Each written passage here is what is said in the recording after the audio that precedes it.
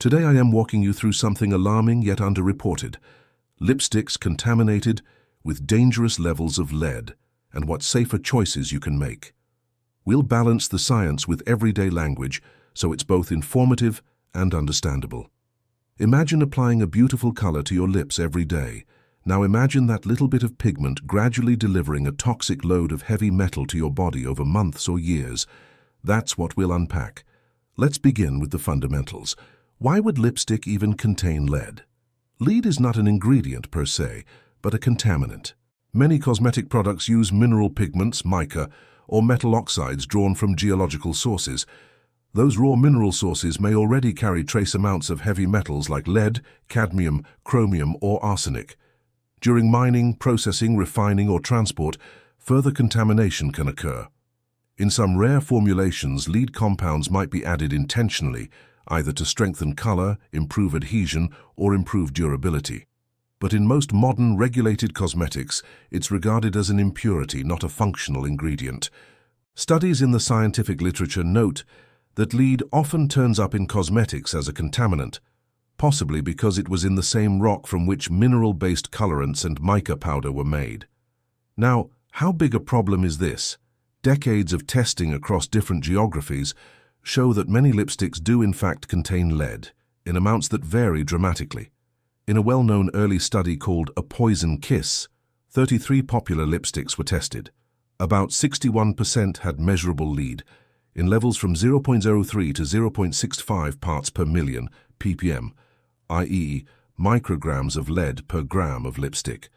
One-third of those exceeded 0.1 ppm, which is a standard often used by analogy for lead in candy.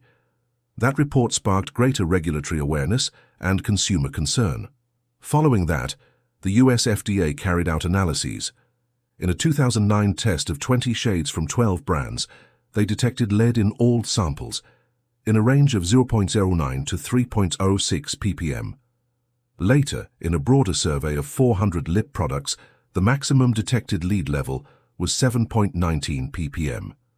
Thus, lipstick lead levels can in some cases exceed 7 ppm. For context, the FDA now recommends, though it is not a binding regulation, that cosmetic lip products not exceed 10 ppm lead as an impurity.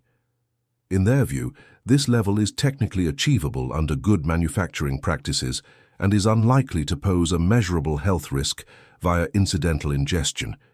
Indeed, in most FDA surveys, more than 99% of tested lip cosmetics had less than 10 ppm lead. Many regulatory and safety assessments assume that exposure from lipstick would add only a tiny fraction, e.g. 1 to 2% to overall blood lead levels in an adult. Still, tiny fraction doesn't always mean no risk, especially when exposure accumulates and for vulnerable groups, pregnant individuals, infants, children. Lead is a potent neurotoxin with no truly safe threshold, according to many public health experts. Once absorbed, lead accumulates in bones and tissues, crossing the blood-brain barrier, impairing cognitive development, and contributing to kidney damage, hypertension, and more. Let me paint a more concrete risk picture using modeling studies. Researchers often use exposure models like the US EPA S adult lead model, or Integrated Exposure Uptake Biokinetic IEUBK models for children to simulate what incremental lead from lipstick might do to blood lead levels. For example, one of those studies assumed consumption of lipstick equivalent lead at various concentrations and looked at the resulting predicted blood lead. They found that for typical adult use, even with lead concentrations as high as 7 ppm, the added blood lead would remain below meaningful thresholds in most cases. But for high users or for children exposed via maternal transfer or incidental ingestion, margins narrow.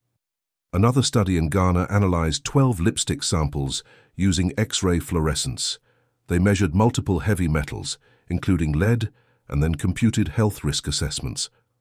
Although non-carcinogenic hazard quotients, a ratio of estimated exposure to safe reference dose, remained below 1 in many cases, implying acceptable risk, their relative intake indices for lead and cadmium in oral exposure scenarios exceeded acceptable daily intake for heavy users.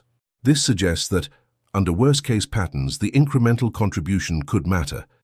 In yet another comparative study, averages of lead in various lipstick types were reported. Solid lipsticks had mean lead, 2.45 mean Biras Kigas, gloss, 1.28, creamy Erotoy 95. One more data point. A study from Turkey measured lead in 34 lip products and found that 41% of the items showed undetectable lead. Among detectable ones, levels ranged up to 0.5237 mRNPRIGs, i.e. 0.5237 ppm. Their average lead content across all lip products was about 0.05791 clan Murikange, 0.0579 ppm, well below common regulatory thresholds. They performed Monte Carlo simulations, 10,000 iterations, to estimate non-carcinogenic and carcinogenic risk. Even for heavy users, the 95th percentile non-carcinogenic risk was 2.82 sex 10 to 3, far under the threshold of 1, which would signal unacceptable risk. Carcinogenic risk estimates stayed between 10 to 12 and 10 to 8, far below a typical safety threshold of 10 to 6. Such results suggest that, for many users, incremental risk remains low, but the caveat is the model assumptions, lifetime exposures, and synergy with other lead sources. Given this mix of data, it's conceivable that among Housing 6 lipsticks contaminated with dangerous levels of lead, some of those items exceeded 7 ppm, or may have had lead content far higher than average products, perhaps owing to poor oversight, cheap pigment sourcing, or inadequate purification steps. If a lipstick had, say, 15 ppm lead, that would clearly exceed the FDA's recommended safe ceiling and enter more worrisome territory, especially for heavy or chronic users. So how does this translate into real-life risk? Here's how lead exposure from lipstick might happen. 1. You apply lipstick. 2. A small fraction wears off or transfers when eating, licking lips, kissing or touching. 3.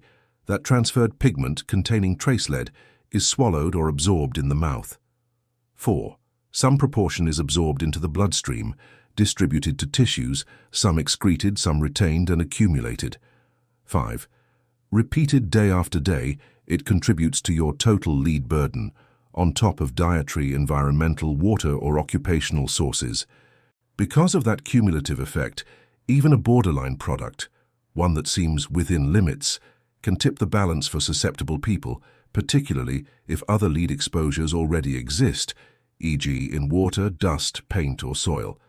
The margin for error is narrower when lead exposure is already elevated from other sources. Also, pregnant people or young children face more acute risk. Lead crosses the placenta, affecting fetal brain development. In children under six, it can reduce IQ, impair attention, hinder growth and cause behavioral issues. These kinds of effects can happen even at very low blood lead levels, so every exposure route deserves scrutiny. Given that, what should consumers use or avoid? How do you minimize risk without abandoning lipstick entirely?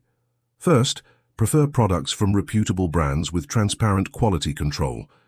Brands that test for heavy metals, publish certificates of analysis, or mention low heavy metal impurity in their materials speak to a higher standard. Check whether the manufacturer explicitly addresses heavy metal testing, purity of pigments or ISO GLP compliance. Second, opt for lip products certified by third parties or that carry independent lab testing results. Occasionally, consumer advocacy groups test lipsticks and publish lead content data. Be cautious of high pigmentation products, dark reds or browns. They sometimes use richer, more complex mineral pigments, which could carry heavier impurity loads. Third, go for creamier formulas or balms when possible, rather than extremely matte, powdery, or long-wearing formulas. Highly pigmented, long-wear lipsticks are more likely to use stronger colorants and binding additives, which sometimes correlate with higher impurity risk. Fourth, rotate your lip colors instead of sticking to one formula all the time, to reduce cumulative exposure from a single source. Clean your lips regularly, avoid licking or eating off large swaths of color, and avoid ingesting excess product. Fifth, check for lead-free labels or brands specifically marketed as heavy metal tested, safe pigments, or mineral cosmetics tested for lead, cadmium. Some indie or niche clean beauty lines emphasize strict screening. Some also replace heavy metal-bearing pigments with safer organic or synthetic alternatives. Sixth, consider using lip stains or tinted balms that use synthetic colorants rather than heavy mineral pigments. Some of those avoid mineral oxides altogether and rely on organic dyes with lower contamination risk. Seventh, maintain overall low lead exposure in your environment. Clean your home to reduce dust, filter your water if needed. Use clean cookware, monitor lead sources in your area. Lowering background exposure reduces risk from cosmetic routes. Eighth, for pregnant or breastfeeding individuals, consult your physician or a toxicologist before using bold or heavily pigmented lip products frequently. If you want to make your own mini risk calculator, here's a rough sketch. Suppose a lipstick carries 5 ppm lead, i.e. 5 micrograms of lead per gram of lipstick. If you apply 0.05 G per day and 0.5% flakes off and is ingested, that's 0.05 x 0.005, 0.00025 G ingested, times 5 UG, G shat 0.00125 UG of lead ingested per day. Over a year, that's YUM 0.456 UG total. That's small in isolation. But if your water, food, air, dust exposures already deliver tens or hundreds of micrograms of lead, the lipstick increment adds up.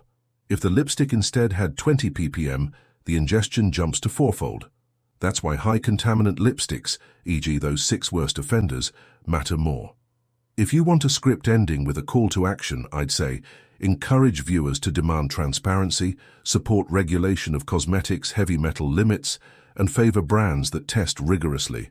If you like, I can refine this into a time-coded video script structure with intros, transitions, voice cues, or produce a shorter version for social media.